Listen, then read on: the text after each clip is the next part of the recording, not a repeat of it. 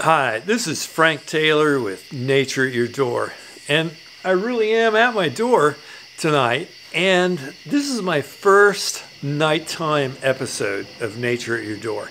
And the purpose of today's episode is to show you these amazing toads that I have around my house. I call them deck toads because they'll sometimes actually hop up three sets of stairs and walk out and hunt on my deck that's about 10 feet wide and about 10 feet off the ground. So today's episode is about the American toad, how to find them, how to identify them, and I'm going to conclude with some different things that you can do to enhance the habitat for these really cool creatures that consume lots and lots of insects. So stay tuned. Right here in your backyard, you never know what you're going to find Exotic. Dogwoods are flowering. And I just took a couple swipes terrestrial environment. Uh, produce seed pollen. And it's So I live in southwest Virginia.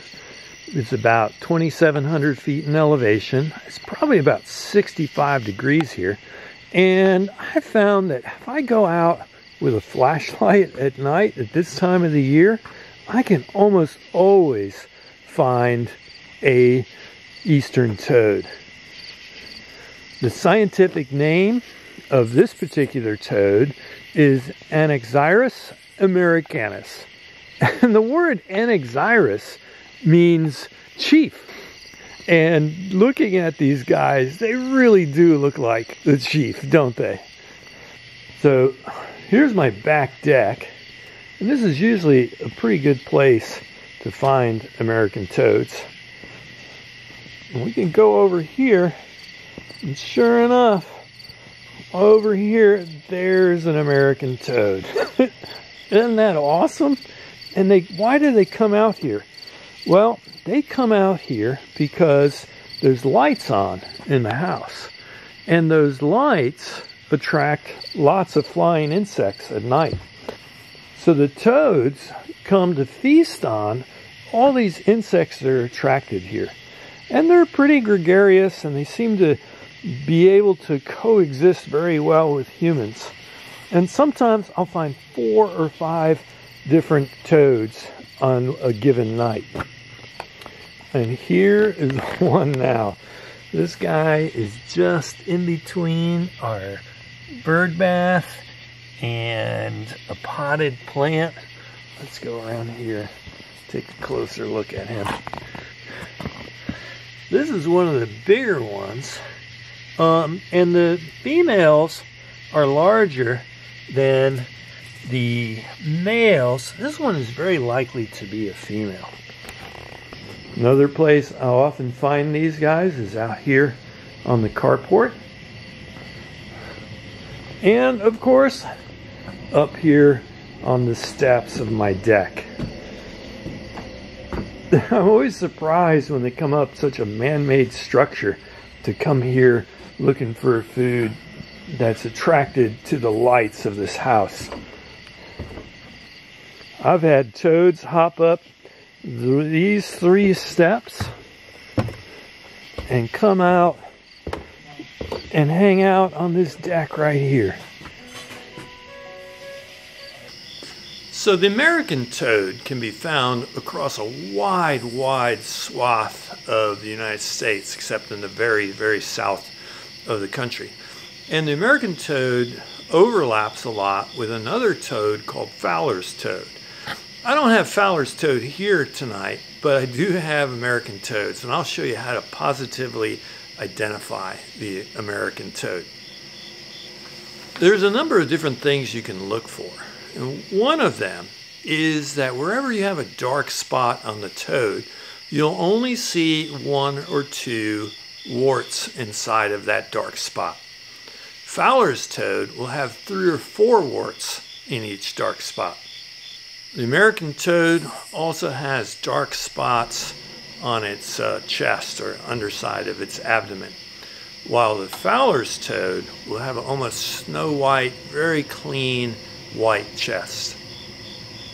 Another thing to look for in the American toad is to look back at the tibia or the calf of the toad's rear legs, and you can see these enlarged warts that are almost shaped like a spine, have almost a pointy look to them. They're like spiny warts on the tibia. The Fowler's toad doesn't have that. And the last thing to look for are these post-orbital ridges on the top of his head.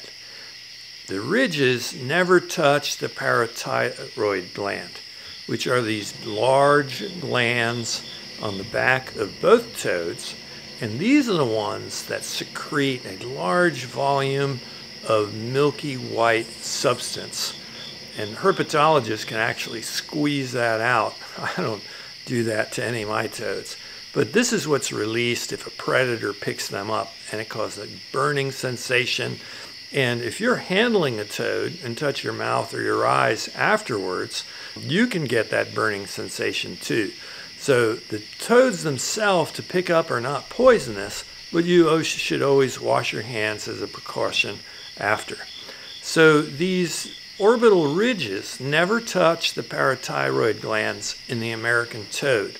They might have a little spur that touches, but otherwise they're untouched. And in Fowler's toad, the postorbital ridges are in contact with the parotoid glands. These toads have been doing pretty well without any intervention on my part.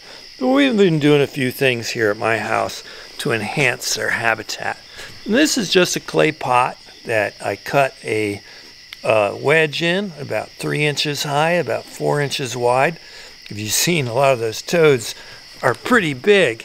And I did it by taking some clay pots and using a hacksaw like this. And this has a special blade on it. It's a carbide tip ceramic concrete pottery blade you can get at your local hardware store. Um, a regular hacksaw blade won't do it. You'll need to get one of these um, to cut it, and it's pretty easily. And you can create a lot of little toad habitats, places for them to hide during the day. You want to play, put them in uh, moist places for them to use. We also try to keep some low trays of water out. And so we keep this filled with water and it helps the plant as well. But it gives them an opportunity. You know, we've had about two weeks without rain. And I know these toads have come up and really appreciated to have that extra moisture. I found some nice pieces of bark that create a nice little habitat for them here Always want to put them in shady, moist places. I looked online for toad houses, and some of them run for 30 40 $45 a piece. And you can be really creative though and make your own at home. A pot like this, half buried, makes an instant toad house or toad home, a hiding place. Remember putting them in very moist places. And you could take a bowl like this or a pot and cut it in half with your carbide saw and have two, two houses to put out.